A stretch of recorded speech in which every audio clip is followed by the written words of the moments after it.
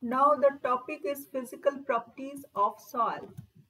Physical properties of soil includes color, structure, structure, porosity, density, consistency, temperature and air. Soil color. Soil color indicates the composition of soil. Soil color is produced by the mineral present in the soil and the organic matter present in the soil.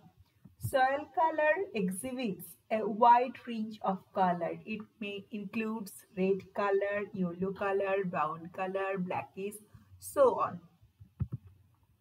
Four factors influence the color of the soil. First one is the minerals or the minerals content of the soil. Second one is the organic matter content of the soil. Next is nature of abundance of iron and last one is moisture content of the soil.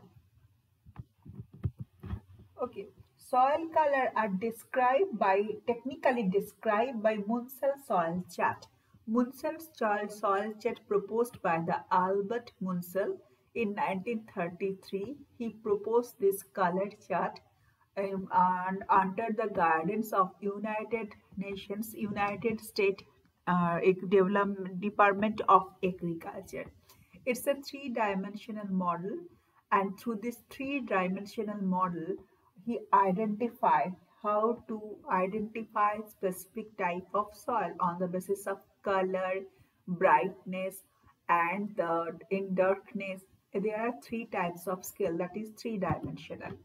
Munsell scale system or the color order system is based on the three-dimensional models. It includes three things hue, color and chrome. Hue include the color, value include the brightness and the darkness and chroma includes the uh, the strength that is the strength or paleness okay? Uh, this is the picture of Munsell color ordered system. Normally soil color identified with the help of uh, Munsell color system ordered cards this is three dimensional this is vertical axis for the value uh, that is the strength of the color. And those are the this ring this this is the ring. It indicates the hue. Here is the color just like a red green blue purple and yellow. And this one this one this is 1 to 10 range is 1 to 10 this is the chrome. Chrome is the paleness or the strength of the color on the basis of three this three-dimensional model three-dimensional Munsell's colored system order or Munsell card um, student or researcher can identify the soil type with the help of the color. You can identify the soil type in naked eyes with the help of Munsell color order system. Now come to the second one that is the soil structure. Mm, soil structure is the relative proportion of the soil particles of various sizes such as sand, silt and clay.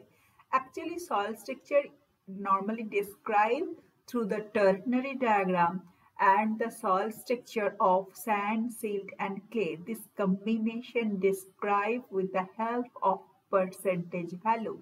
It's a proportional or relative proportion of the particles of sand, silt and clay. That's a ternary diagram. Here sand, silt and clay normally described in percentage. All ranges from 0 to 100% and soil structure is very important attributes in soil or soil characters. Through the feel method, through the touching by the touching of the soil, in your fingers. You can tip of the fingers. Student or researcher can identify the soil method a soil structure. Mm, it helps the amount. It can identify and helps to identify the water holding capacity of soil the rate of water movement or the rate of seepage within the soil. And it will also helps to how how the rate of fertility uh, it will determine the nature and rate of the fertility. Soil structure is very important attribute. It is nothing but the relative percentage of sand, silt and clay Normally, it is defined by or described with the help of percentage and soil ternary diagram helps to helps to identify the particular soil structure. That is, uh, example of soil structure is the clay, like sandy loam, clay loam, silt. Those are the example of soil structure, and it has very important, uh, very important. It is, it has, uh, it has positive aspect uh, in water holding capacity. It will determine the soil fertility. It, it, it, it the soil structure also determines the uh, soil fertility, water movement within the soil and the water holding capacity of the soil. Then come to the point of soil structure. Uh, normally soil structure is the arrangement of soil particles.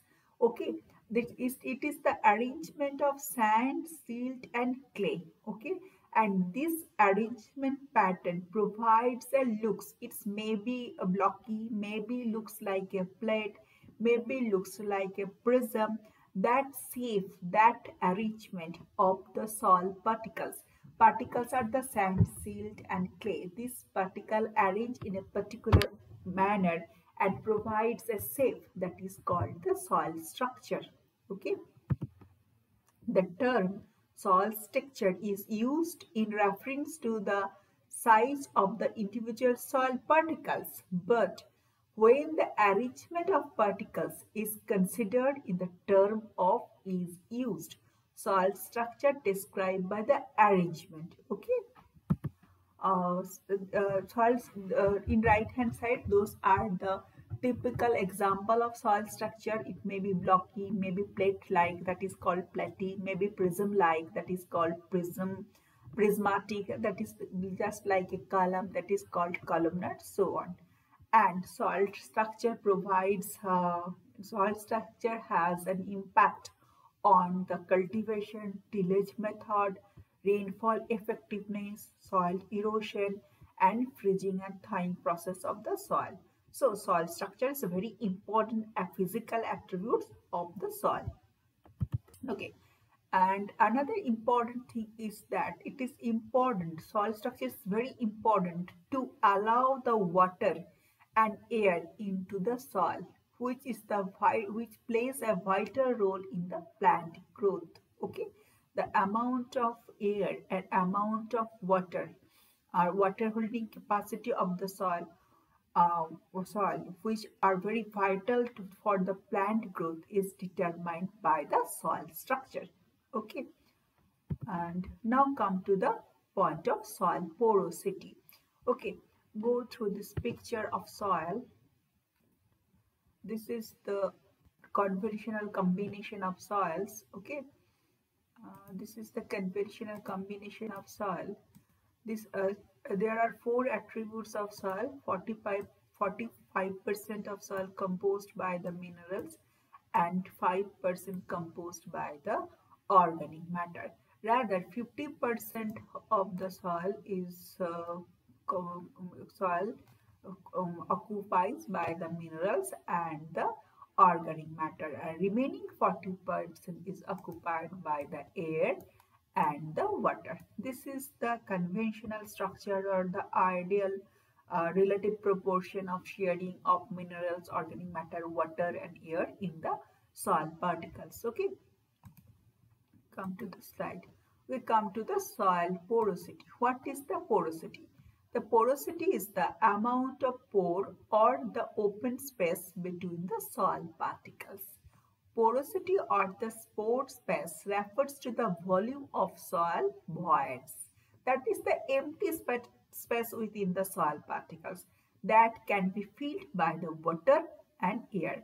In last last uh, diagram, uh, there was an uh, ideal there there was a composition combination of ideal soil soil that is 50% of the soil is pore space okay pore space contain groundwater pore space contain air that contain oxygen carbon so on and pore space is a plays a wide, very important role for the oxygen content or rather the plant transpir evapotranspiration, all these things. Okay.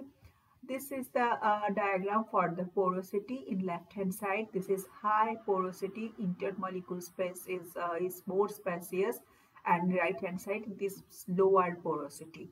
It's the open space or void space within the soil particles. Okay soil porosity is very uh, soil soil porosity is very closely related to the infiltration capacity of the soil level of soil saturation what soil will be saturated or not and the um, air content of the soil there is a very close and positive relationship between the soil porosity soil infiltration capacity formation of groundwater table and the rate of the seepage, whether the water table is saturated or not, all these attributes related to the soil porosity. Now come to the point of soil density. Uh, density normally, uh, basically, what is the density? Density is basically, uh, density is equal to m by v. m is mass and v is the volume. This is the conventional definition of any density. So, what is soil density? Soil density is a ratio of the total weight of a soil to a particular volume of the soil. Rather, weight divided by the volume. Density refers to the mass per unit of volume. Okay. Soil density is normally defined as a bulk density. Okay. And it's it's it's it's affect the infiltration rate, root depth, availability and capacity of water, water porosity, soil porosity, plant nutrient availability, soil microorganism, so on. So come to the point of soil density. It is also called as a bulk density or the dry density. What is bulk density and dry density? The whole whole soil it included it described in reference to the whole soil mass okay bulk density is the weight of a soil of a given volume. Suppose a student, ha student have collected uh, 10 grams of soil and uh, the weight of the soil is 10 grams. Okay. And this 10 gram soil and the volume of the 10 gram soil is uh, uh 1 cubic meter. Okay. 1 cubic centimeter. Then what will be the soil density, what will be the bulk density or what will be the dry density?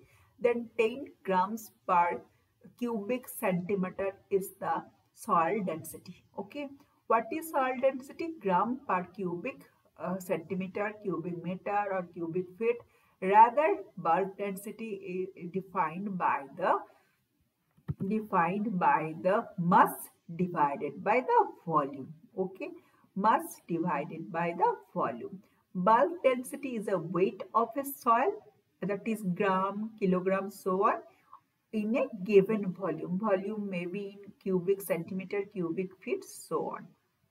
Okay, soil with the bulk density higher than 6.1.6 gram per cubic centimeter tend to restrict the root growth high soil density, rather high soil bulk density is not favorable for the plant growth.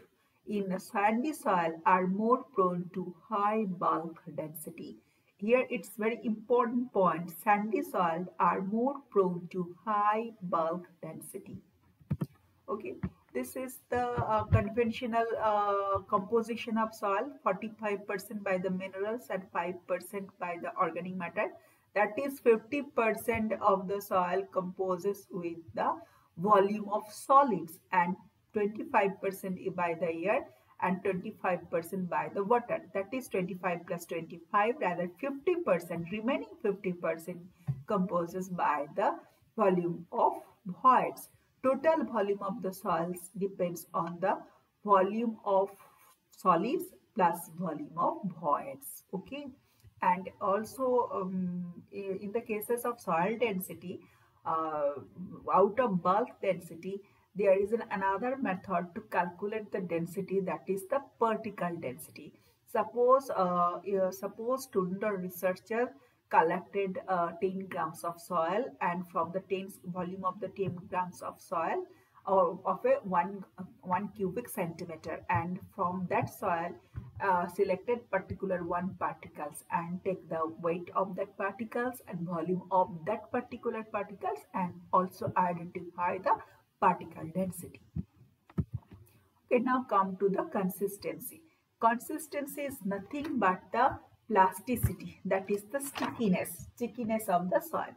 Two important thing is very two thing is very important that is the cohesion and adhesion. Cohesion is the attraction of the molecules of the two water attraction of the at, uh, attraction of the um, it is the attraction of the one water molecules to the another water molecules. That is the bonding between the water and water molecules. And adhesion is the similar to the cohesion but it's the attraction of the water molecules to the non-water molecules. Rather water it's the attraction between the water to solid molecules or the solid bond okay?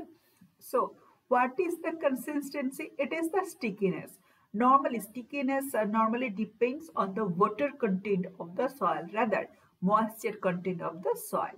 Stickiness uh, the knowledge of the consistency or the stickiness of the soil is important for the cultivation important for the civil engineering construction important for the uh, construction of pipeline important for the construction of tunnel or the construction of pond so on that uh, consistent gives also an indicator of soil structure. It's related to the soil structure.